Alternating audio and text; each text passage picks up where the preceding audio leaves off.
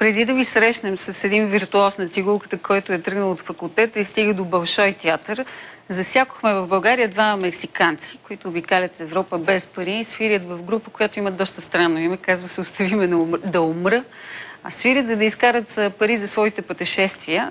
Вижте какво разказаха на Веляна Кашева за това по какво България и Мексико си приличат.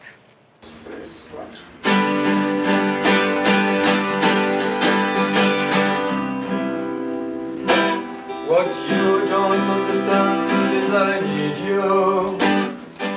Един телевизионен режисьор по пижама и един психолог от Мексико на концерт в един софийски апартамент.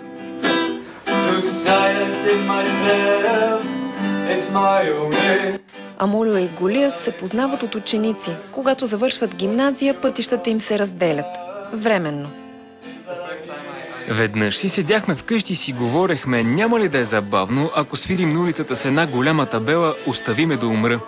Защото ще сме без никакви пари, без никакви дрехи, само с две китари.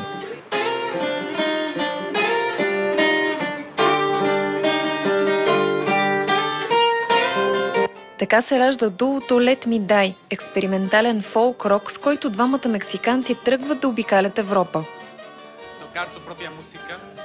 Трудно е да свириш собствената си музика на улицата. Понякога хората очакват да свириш кавари, познати песни, за да ти дадат пари.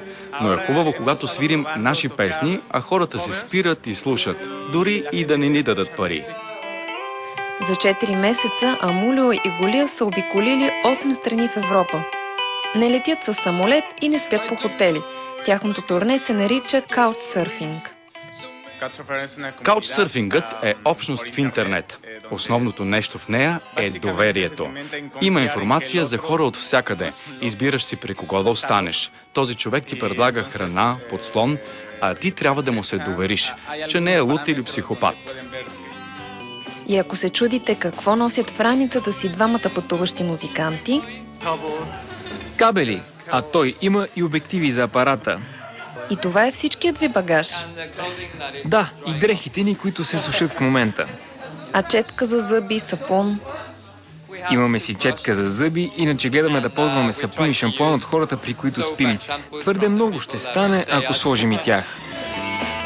Амулио и Голия започват пътуването си от Лондон, за да минат през Естония, Литва, Латвия, Полша, Германия, Австрия. Веднъж в Естония нямахме къде да останем, беше зима и беше поне минус 12 навън. Скитахме се, обикаляхме по търговските центрове, за да се стоплим. Накрая един човек ни приюти. Беше много щедър, но всъщност той нямаше нищо.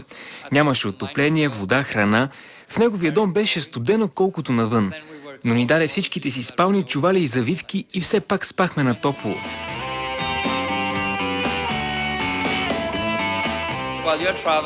Когато пътуваш, понякога е трудно да разбереш другите хора. Няма да кажа мястото и човека, но веднъж ни се случи да гостуваме на един човек, който явно имаше проблеми в работата си. Беше много груб с нас. Държеше се агресивно. Е, накрая все пак се извини.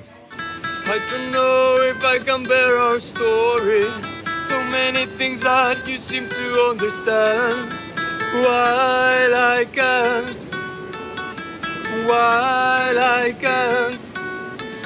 Днес Амулио и Голия са в България за втори път. Идването ни тук беше много важно за нас, защото обложката на албума ни е правена от двама българи. В България ни е трудно, защото вашите букви са различни. Навсякъде по всички знаци и табели. А и когато казвате да или не с глава, също е наопаки. Дори когато си купуваме някаква храна и си поискаме да ни сложат сос и кимаме така, те не ни свалят. По някакъв начин България ни напомня за Мексико. Имате доста разнообразна природа, но и защото първоначално човек не се чувства особено сигурен тук. После разбираш, че може и да ти е много комфортно и да се чувстваш общо взето сигурен.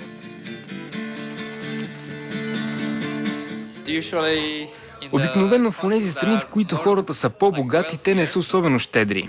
А в други страни, където хората живеят с съвсем малко пари, обикновено са много щедри. По-трудно е, например, в Великобритания и е по-лесно в Балтийските страни. А как е в България? О, хората тук са доста щедри.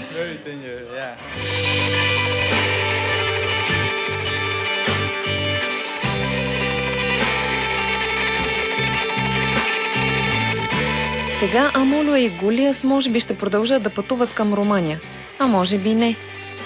Всеки път, когато ги попитаме колко още ще останат тук, те винаги отговарят още две седмици. Ти само определяш правилата си, господар си на времето си, чувстваш се свободен. И това е страхотно.